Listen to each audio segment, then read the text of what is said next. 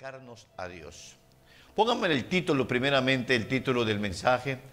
Eh, si puede ponerme el título, eh, ya, es como no lo veo ya, es el acercamiento a Dios. Puede que alguien le pregunte, ¿y qué vas a hacer a ese lugar? Hoy es la iglesia, tengo que, voy a la iglesia para aprender esto y aprender lo otro. Usted viene a la iglesia a acercarse a Dios. Eso es lo importante. Cuando uno se acerca a Dios, recibe beneficio. Ahora sí, póngame el versículo y usted se pone de pie. Póngase de pie. Vamos a escuchar el versículo. Y dice así el versículo, y sin fe es imposible agradar a Dios. No vamos a hablar de esa porción, que ahí hay mucho, mucho que aprender. Porque es necesario, esa palabra es clave, es necesario. Acuérdese que la Biblia, si usted la recorre, está llena de varios necesarios. Por ejemplo, es necesario que a través de muchas tribulaciones, es necesario, significa que eso no debe de fallar.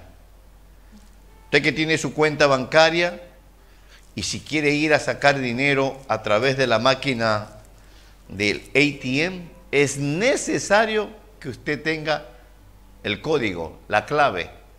Si no la tiene, por mucho que se pare al frente, eh, que se ponga frente a la cámara, necesita el código.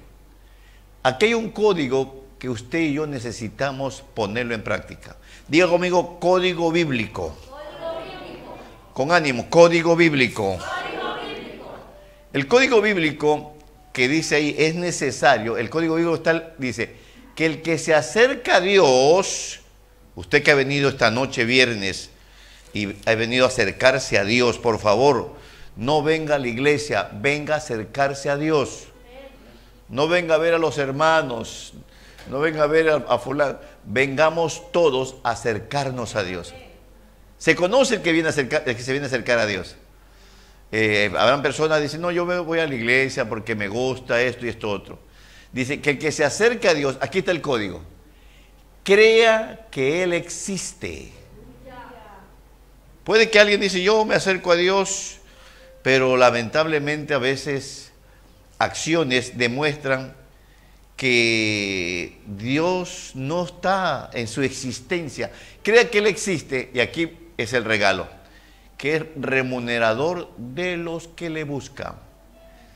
La remuneración terrena son limitadas, pero cuando Dios remunera, cuando Él le da algo a una persona que cuando se acerca a Dios cree que Él existe, una remuneración extraordinaria, medida remecida, sobreabundante, en que muchas veces uno dice, Señor, gracias, pero eh, tú eres tan bueno con cada uno de nosotros. Vamos a orar pidiéndole a Dios que, que Él nos siga hablando. Padre amado, esta es la palabra que hace día pusiste en mi corazón para que en el momento que tú me permitieras alimentar a tu pueblo, yo te pido que estas personas presentes, los que nos miran por los medios, no se acerquen a un servicio de una iglesia, sino que nos acerquemos a ti. Que sea tú el motivo de estar mirando, oyendo, presente aquí, porque queremos, Padre mío, demostrarte que tú existes en nosotros. Gracias, mi Señor. Declaramos lo que nos gusta declarar cuando tenemos este tipo de, de actividad. Toda célula cancerosa se seca, todo tumor desaparece, los problemas del corazón se cancela, mira depresión, lo que hacemos contigo, te pisoteamos en el nombre de Cristo Jesús y toda infección se va en el nombre de Jesucristo. Amén, Señor, y amén. Tome su lugar, mis hermanos, mis hermanas.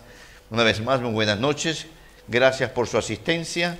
Eh, creo que eh, es de bendición y de beneficio para cada uno de nosotros cada viernes y cada domingo eh, alimentarnos con una palabra fresca, con una palabra que nos dé eh, la, vía de seguir creciendo. Cuando uno a través de la palabra encuentra eh, estos conceptos, uno comienza a, pensar que si algo quiere Dios es que no seamos solamente personas que nos sentemos en la mejor iglesia que usted se pueda sentar, sino que aprovechemos ese momento. Dios conoce su corazón. Dios sabe con qué propósito y actitud llegó este día.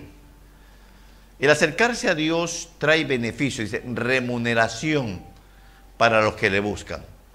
Yo estoy seguro que usted quiere remuneración para su vida personal, su familia, eh, su economía.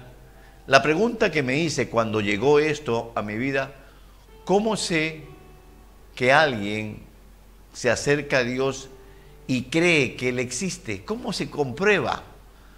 Porque si hacemos un test en este momento y yo le dijera, pregúntele que está cerca de usted, ¿crees que Dios existe? Todos nos van a decir que sí. Nadie va a decir, no, yo vengo solamente porque esto y esto otro. Eh, debemos de saber, de no caminar tal vez engañados personalmente. Para cuando uno se acerca a Dios, la clave, el código, así como usted mete su código para obtener el dinero que quiere sacar del cajero automático, la clave es que usted crea que Él existe. Grábate, mi hermano, mi hermano pueden que hayan personas, miles de personas que este día viernes llegaron a sus iglesias, alabaron al Señor y todo lo demás, pero su vida no demuestra que cree que Él existe. Cuando alguien tiene ese beneficio, lo pone en práctica, lo ha aprendido, le ha pedido a Dios, Señor, yo me quiero acercar creyendo que tú existes no me quiero acercar porque hoy es viernes, es servicio, se me ha hecho costumbre, ya lo tengo como parte de mi, diario vivir, sino que me acerque a ti creyendo que existe cuando usted dobla sus, sus rodillas en su hogar, cuando usted habla con Él, crea que Él existe. Y traigo tres puntos para que usted lo revise con su propia vida y yo también, y eso nos va a ayudar a saber si yo me acerco a Dios creyendo que Él existe.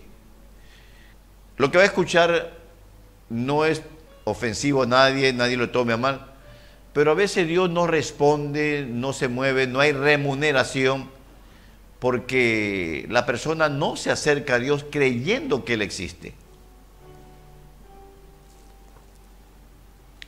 Acuérdense que las iglesias han sido formadas precisamente para instruir, para educar, para alimentar, para enseñarle a personas como usted y como yo, que venimos a acercarnos a ese Dios y creyendo que Él existe. Mañana pasado alguien le va a decir, eh, llevo tantos años asistiendo a una iglesia y mi vida sigue igual. No veo beneficio, no veo recompensa, no veo remuneración de parte del Señor. Porque ahí hay una promesa. Dice, y Él remunera a los que le buscan.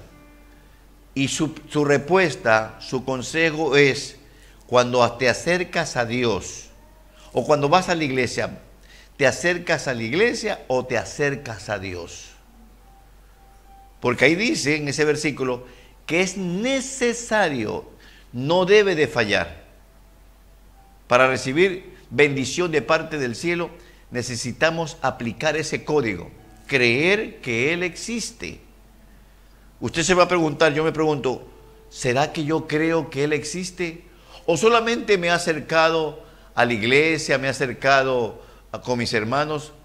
Por eso es muy importante analizarse con estos tres conceptos que le traigo para que usted, usted lo revise, porque aquí, aquí los beneficiados que queremos es cada uno de nosotros. Yo quiero la remuneración de Dios por buscarlo. Dígame, yo quiero esa remuneración. Cuando uno cree, se acerca a Dios y cree que Él existe, lo primero que se da como evidencia, lo primero que uno manifiesta sin forzarse, sin, sin tener tal vez presión de que alguien nos diga tienes que hacer esto, es que hay, póngame la primera, es que hay, ¿ya está ahí? Ahorita lo van a poner. Es que hay un, una excelente relación con el Señor. Mire que digo excelente relación. Solo Dios sabe cómo está su relación con Dios. Solo Dios sabe. Nosotros lo que vemos es su presencia y bendecimos su presencia en este lugar. Anhelamos que Dios levante cargas, bendiga su vida, fortalezca su ser, el que está con dolencia en su cuerpo reciba sanidad. Esos son nuestros deseos. Pero recuerde que Él es el que va a remunerar. Él es el que va a bendecir. Remuneración es bendición. Remuneración es regalo. Remuneración es favores recibidos. Pero Él va a remunerar, Él va a bendecir si yo tengo un acercamiento a Él creyendo que Él existe.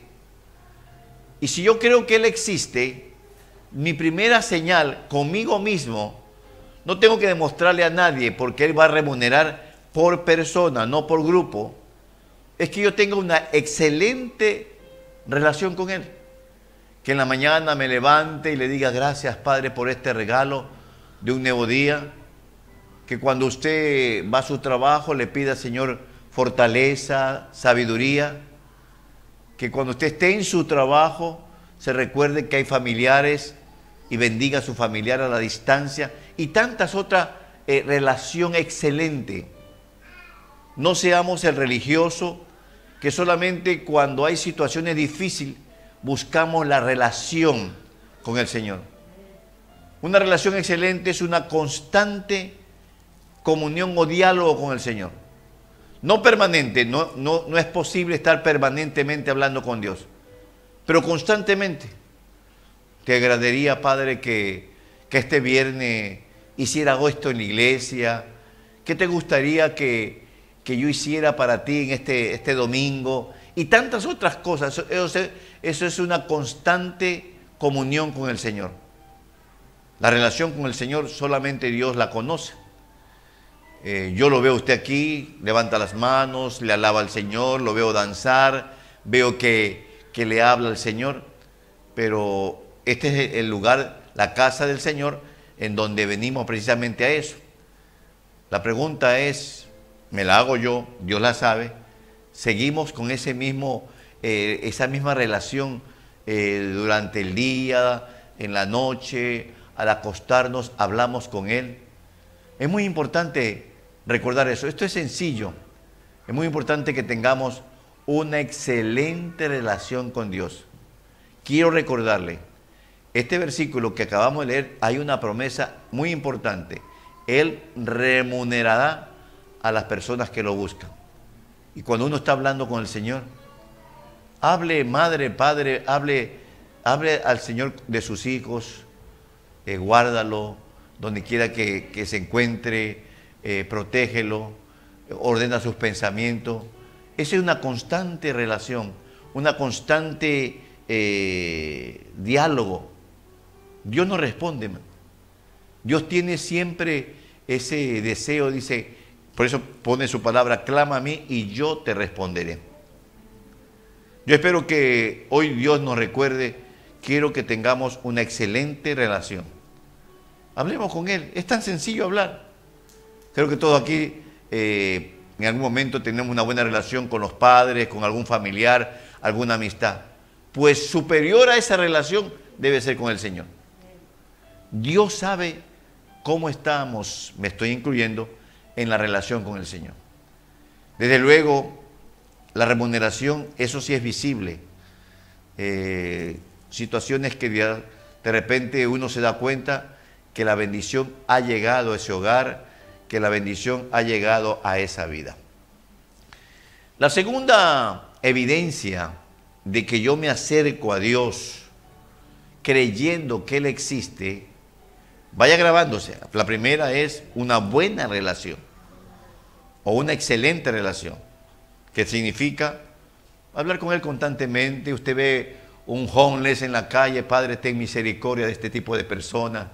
Solo tú sabes por qué llegan a esas condiciones. Eso es, una, es una, una un, un diálogo constante. Eso no permite que el enemigo llegue con pensamientos confusos, con cosas que en realidad comienzan a molestar nuestro, nuestra forma de pensar. Lo segundo que usted debe poner en práctica, porque anhelo, Padre, te pido en el nombre de Jesucristo, que tú recompenses, remunere a estas personas. Yo, quisiera que usted eh, dentro de poco esté en otro nivel. Como dijo Juan, este año sea un año de gran bendición para usted como pueblo, para su hogar, para su familia. Son deseos nuestros, pero tenemos que poner nuestra parte. Y la primera parte es una excelente relación con el Señor. Por eso le invitamos, le motivamos a que no deje de orar, que no deje de dialogar con el Señor. Le invitamos a que usted los miércoles haga presencia y, guerriemos juntos, porque la guerra, cuando uno pelea, obtiene la victoria. La segunda evidencia que la persona se acerca a Dios creyendo que Él existe es que hay una obediencia total. Yo recuerdo, era alrededor de las 11 de la mañana, no recuerdo el día, pero el año sí lo recuerdo, 1997. 1997. Ese año, estando en mi hogar, tenía mi trabajo en mi hogar, llevaba controles contables en mi hogar. Y de repente, a esa hora, antes del mediodía, llegó algo a mi espíritu, algo fuerte algo que yo no me puedo explicar, que cuando ya me veo, cuando ya me veo que estoy aquí, en, este, en esta ciudad, en este estado, con cada uno de ustedes, eh, en este lugar, eh, hago un feedback, me voy para, para atrás y, digo, Señor, todo comenzó con un, un, sentir del Espíritu. Y Dios me dijo, Seattle, Washington, y después dijo, donde tú vayas, yo voy. O sea, me dio la opción de escoger. Pero él, ya había dicho Seattle Washington. Entonces yo dije, no, si tú dijiste Seattle Washington, voy para Seattle Washington. Y le obedecí totalmente.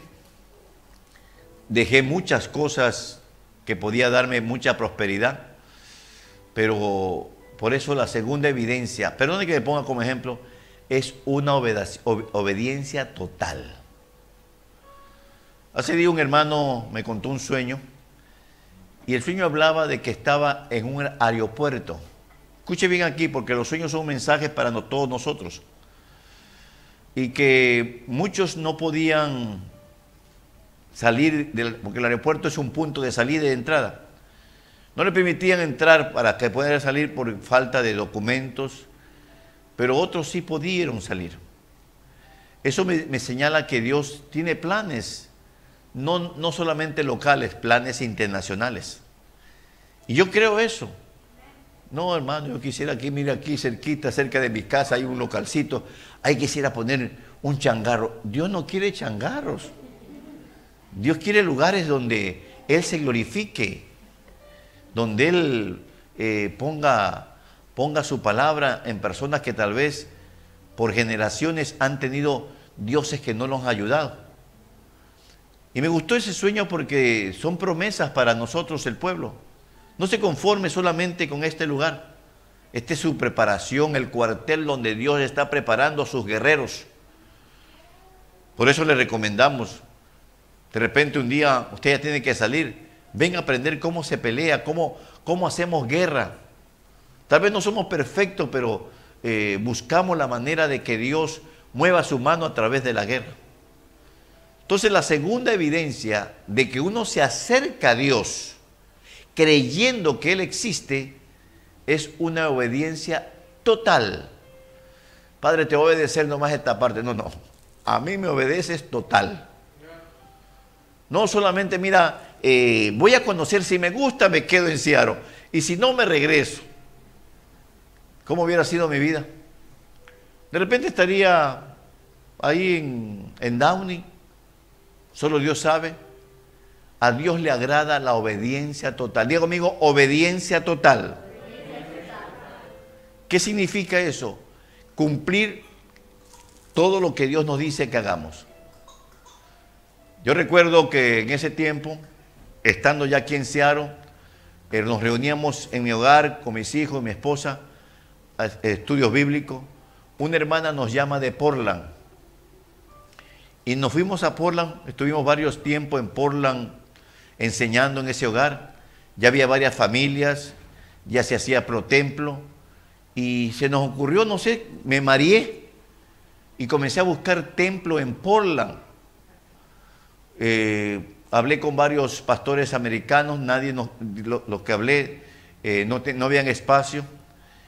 Y de repente, estando aquí en Seattle, eh, Dios me dijo, a mi corazón me habló, dice, ¿qué andas haciendo en Portland? Yo te dije Seattle, Washington.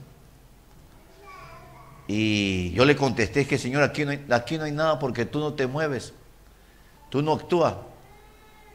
Y recuerdo que ese sábado que llegamos a Portland, el domingo que llegamos a Portland, le dije a los hermanos, hermanos, este, este, para hasta tal, tal fecha estaremos aquí en, en Portland, porque le conté todo lo que había pasado.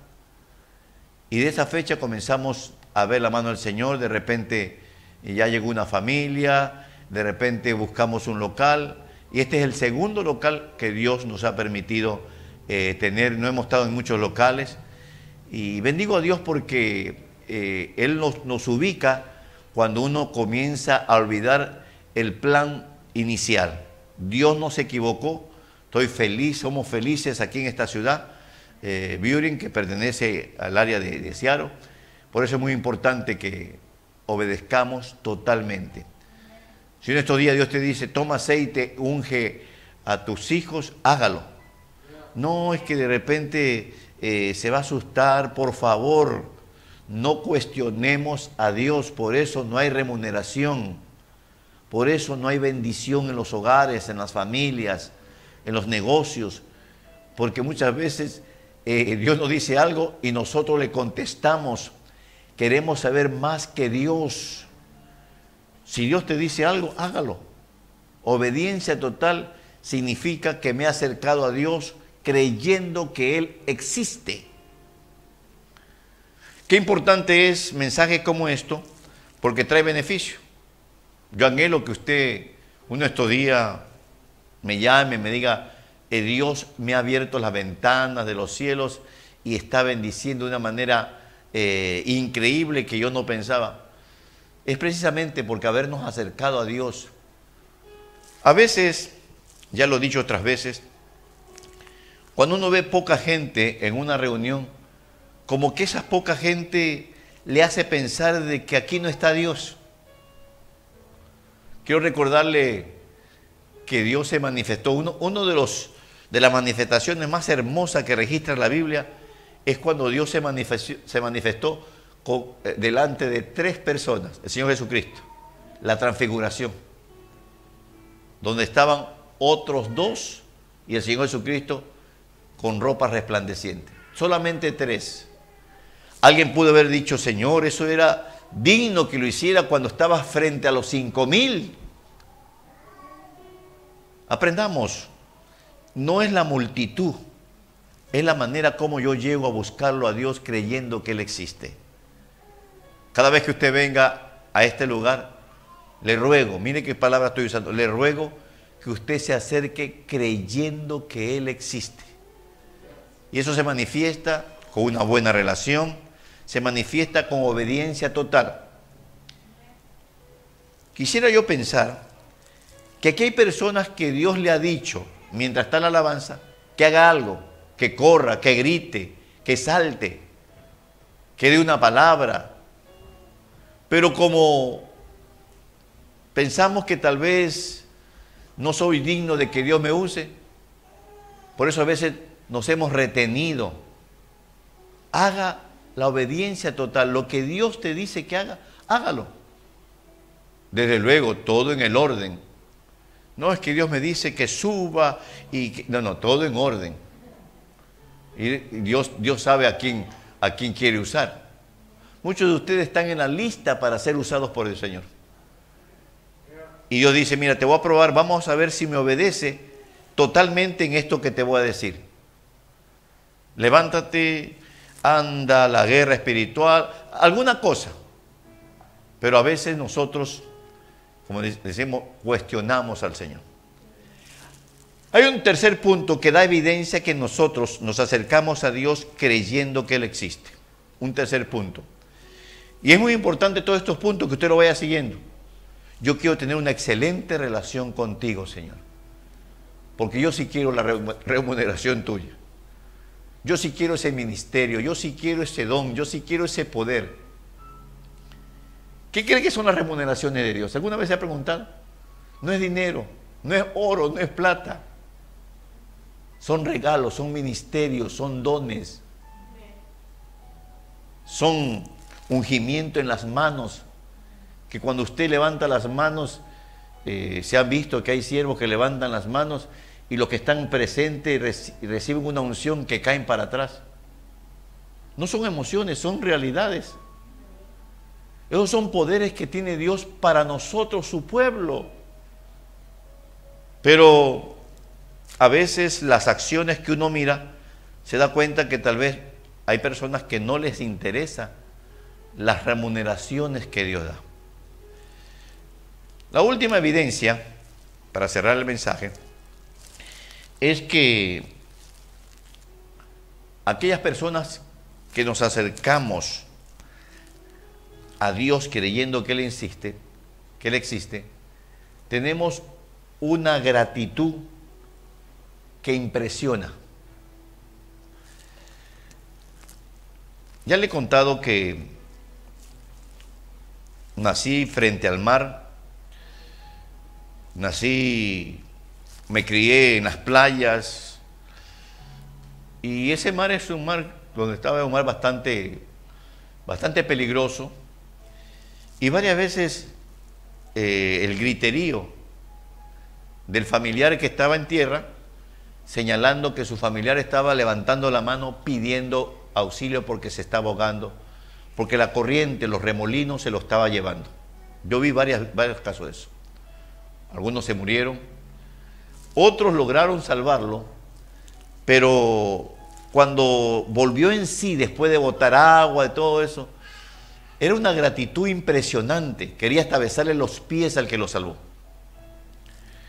¿Cómo usted demuestra una gratitud impresionante a ese Dios maravilloso? La mejor demostración de gratitud impresionante está en el servicio. El servicio es la mejor manera de usted demostrarle a Dios que usted tiene una gratitud. Porque más de alguno de nosotros, me incluyo, yo serví mucho tiempo, en un momento llega a nuestra mente de que mi servicio, como que nadie se da cuenta que yo sirvo. Aquí he estado, yo, enseñaba a los niños, a veces eh, estaba hasta varias horas con los niños y no llegaba nadie a, de repente yo necesitaba ir al baño. Cuando uno tiene una gratitud impresionante, tiene un servicio que también impresiona. Una gratitud en el servicio. Creo que usted se ha dado cuenta, aquí no buscamos la manera de, de forzar a la persona que sirva. Tiene que nacerle, pero por gratitud tiene que nacerle porque cuando Él se acerca a Dios lo hace creyendo que Él existe. La gratitud es algo que nace en la persona. La gratitud no es algo impuesto, es algo que nace en usted. Señor, tengo gratitud, te voy a servir. Si algo, perdone que me ponga como ejemplo, si algo a mí me agrada, me gusta a mí personalmente, es servirle a mi Señor. Tengo una gratitud con Él por todas las cosas que me ha permitido ver, por tantas cosas que, he podido disfrutar. Más son los, disfrutes que las pruebas. ¿Cómo no, no le voy a agradecer? ¿Cómo no le voy a servir? Creo que te has dado cuenta al inicio de la pandemia, teníamos el programa del Facebook en la mañana y en la noche de lunes a lunes, hermano. Y lo hacía con gusto, me gustaba eso, y, estamos pensando si regresamos, pero vamos a ir poco a poco. La gratitud, la gratitud en el servicio es demostrada. A veces, eh, perdone, pero a veces tenemos que pedir, hermanos, ayúdenos, hermanos. Y creo que todos nos damos cuenta que hay necesidad en esta área, en esta otra área.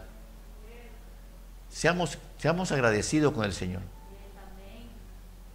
Si nosotros Dios no nos hubiera alcanzado, solo Dios sabe cuál fuera nuestro, nuestro, nuestro final en este día.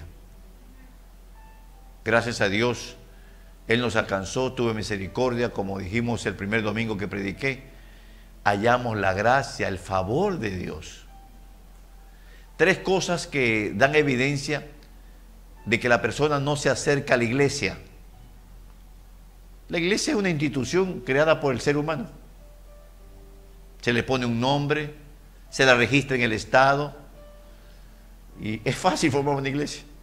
Legalizar es sencillo. Lo importante es que esa iglesia esté en la presencia, que se mueva el Señor, que llegue el Señor, que se manifieste el Señor. Y creo que en esta iglesia el Señor no solamente ha llegado manifestado, sino que Él habita en medio de nosotros. Él está ministrando, formando, capacitando. Muchos de ustedes cada vez que observo sus vidas, porque los observamos en silencio, por supuesto, sin criticar, vemos que ha, habido cambio. Y eso solamente lo hace el Señor. Vemos que ya hay madurez. Vemos que hay eso, esa constancia, esa perseverancia, que es bíblico, el que persevera hasta el fin será salvo. Y también vemos lo contrario, pero es parte del caminar. Muchas veces Dios lo prueba a uno como ministro como siervo, como sierva, les prueba al Señor. A veces uno pone la confianza en una familia, en una persona, y de repente se le va la familia.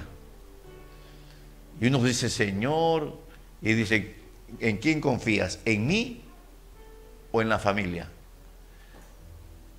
Por eso es muy importante estos mensajes para poder recibir, y con esto voy cerrando, la remuneración por buscar al Señor. ¿Cuántas personas se están perdiendo esa remuneración? No se acerca a la iglesia, acerquémonos al Señor. Que sea, que sea su motivo. Que cuando usted esté en su casa los viernes, los domingos, no, yo quiero ir, yo quiero, quiero buscarte, Padre, te necesito, mi Señor. Acuérdese que Él es el que sana, es el que levanta. El ministerio que tengo yo me lo dio el Señor. Y él sabía eh, que, que siempre quisimos, eh, que siempre teníamos ese espíritu de búsqueda, de servicio. Yo serví en todos, en todos, en muchas áreas. Hasta no sabía eso, hasta ahí me ponía a servir. Claro, me enseñaban cómo tenía que hacerlo. Me refiero que una vez preguntaron, ¿quién quiere ayudar a, formar el coro de niños? Yo levanté la mano. Yo nunca había formado un coro de niños, pero ahí aprendí. Es muy importante, mis hermanos, estos tres puntos. Primer punto, repasamos y, cerramos. Eh, una excelente relación con el Señor. Segundo punto, obediencia total. No es que Dios quiere que yo regrese de donde yo soy, de donde yo soy es un ranchito, ahí no hay nadie, es puro burro. Bueno, habrá una familia ahí. Eh, Dios no se equivoca. Dios no se equivoca. Si Dios un día te dice, haga esto, hágalo. No, no, no cuestionemos con el Señor. Y por último, seamos agradecidos con Dios.